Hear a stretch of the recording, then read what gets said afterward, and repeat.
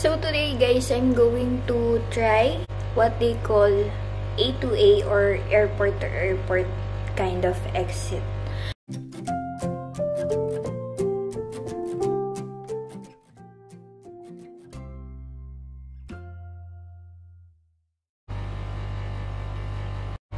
Hi guys, good morning. So, it's past 5 p.m. already. Actually, 5.10 pa lang. Advance lang yung sa wall clock. So, today, I'm going to Sharjah. Sharjah International Airport to exit the country. Pupunta ako ng Oman. So, I'm just wearing a jumper and pants. Then, magsusuot lang din ako ng coat kasi super lamig. So, ito lang yung mga dala ko today this one. Yung coat and sling bag. Small sling bag para sa passport ko. And etong bag ko. So, I'm just actually waiting for uh, for the car lift drive, for the car lift. Kasi nagbook ako uh, from Abu Dhabi to Sharjah. It's 1 hour and 30 minutes nung chinek ko sa Google Map. But I was actually planning na mag uh, car lift from here, Abu Dhabi to Dubai, Metro, yung first station ng Metro. But unfortunately, yung sa Metro station from their first station to the last station, it's it will already take 1 hour and 30 minutes. So, super magagahol ako sa oras because the flight, uh, the flight was booked, uh, was 9 o'clock in the morning. So, I need to be there 8 mga 8 o'clock, 7.30. So, ayun. So, later, I'm just, uh, will, I'm going to update you about, uh, sa lahat ng mangyayari about this A2A exit. So, see you guys! By the way, guys, sa mga hindi pa nakapunta dito sa UAE, uh, as you can notice, I'm wearing glasses kasi dito sa UAE, uh, UAE immigration, uh, they have this eye scanner. So, every time you enter the country, kailangan, ano, kailangan wala kang suot na contact lens because they will scan, they will scan your eyes. So, ayun, tip lang sa mga hindi pa nakapunta dito. Wear uh, glasses instead of contact lenses. Before kasi, uh, hindi kasi ako sanay mag uh, glasses kasi super mabigat siya and prefer ko talaga contact lens. So, pag nagta-travel ako, na-contacts ako, tapos tinatanggal ko siya sa plane. Then, after, pagbaba ng plane, nag, uh, susotuli ako ng contacts. But, if you are traveling going here, going here in UAE, better na wag na kayo mag-isuot ng contact lens at all. Just wear your glasses. Hi guys! Kamusta? So, uh, mukhang namamaga yung, parang namamaga yung mata ko kasi sinisipon ako. About the A2A exit. Actually, uh, this video, ano na, two days after, after I traveled na kasi, when I arrive, nung uh, Tuesday, sobrang pagod na pagod ako kahit A2A lang siya kasi sa Sharjah pa siya. Iko-continue ko na lang ito based dun sa film ko nung Tuesday morning. So, actually, uh, nakarating ako sa Sharjah, 7 o'clock a.m. I left here in Abu Dhabi, 5.30 a.m. Then, 7 o'clock ako nakarating sa Sharjah uh, using car lift. Kasi initially, I plan na mag, ano nga, na mag uh, public transport like uh, metro and metro and bus. But, ayun, hindi kakayanin since 9.15 a.m. yung flight. So, when I reached Sharjah, sobrang maliit lang siya. Parang, uh, two floors lang siya. Tapos, sobrang maliit lang yung ano niya. Yung pinakaloob. Yung pinakalooban. Parang pagpasok mo, may pila na agad ng ano, ng pa-departure. sobrang maliit lang siya. So, ang first kong ginawa is nagpa-load ako. Nagpa-load ako sa ng phone kasi mahirap na baka magka-problema, magka-aberya at least at least may naka-roaming yung phone ko. Then right after nag-ano ako, nag check-in na ako, check-in sa counter. And yung mga sa Air Arabia, almost lahat sila Filipino, yung nandun sa counter.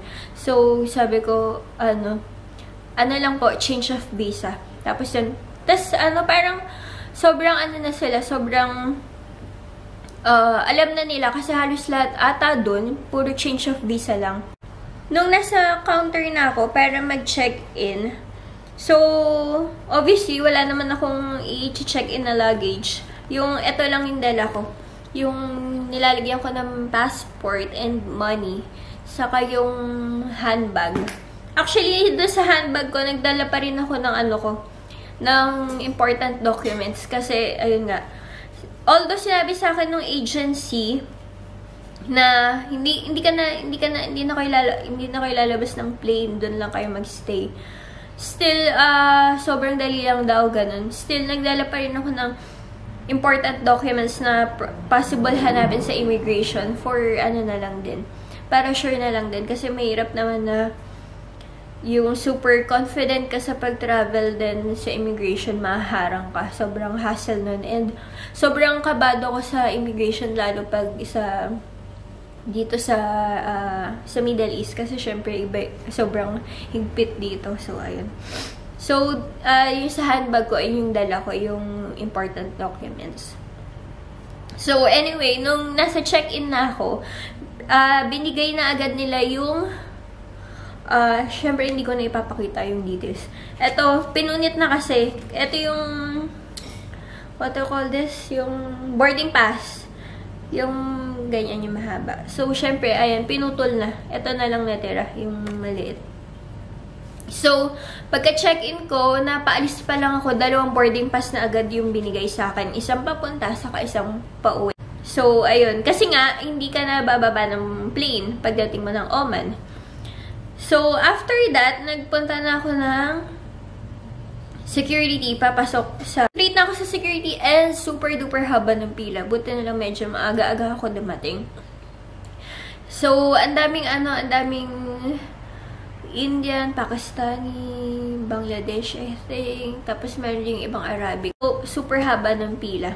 Tapos ang gulo-gulo kasi ano, ang sikip. Di ko alam kung super maliit or super dami lang talagang tao. Pero ang gulo, medyo magulo talaga siya. So, pagkapasok ko, diretso na. So, ayun. Tapos, uh, nakapasok ako, mga, uh, mga ano na, 8 o'clock, super aga super aga ko nakapasok dun sa pinaka gate, malapit dun sa gate. Sa Kala ko 8 o'clock ang boarding, but ang boarding was, sabi, 8.30. So, 8.30 kasi nakalagay dun sa boarding pass, but, ano siya, actually, nag-start ng board, ano na, 8.45. Tapos 9.15 yung flight. I'm going to insert clip kung ano yung itsura while I was waiting. So, ayan.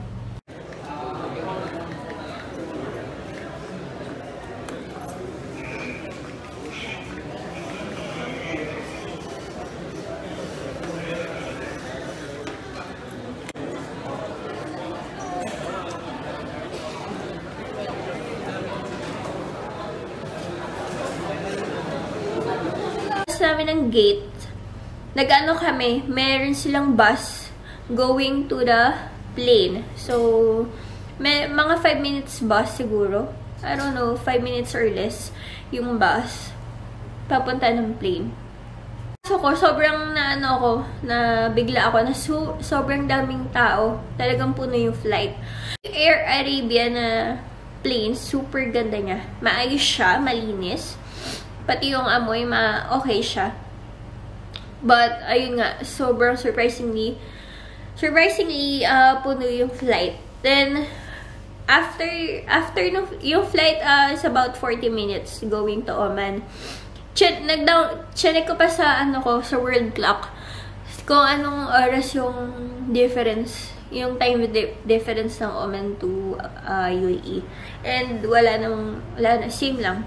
Same lang yung time. Dumating kami ng Oman around 10.30. Ang pinatayo ng mga stewardess and pilot kasi nag-announce na mag-stay lang sa seat yung mga for visa change. Then, ang mga tatayo lang, yung mga pa, ano talaga, mga pauman talaga. Baba ng mga tao na pauman talaga, na, di ba nakastay put yung mga visa change lang.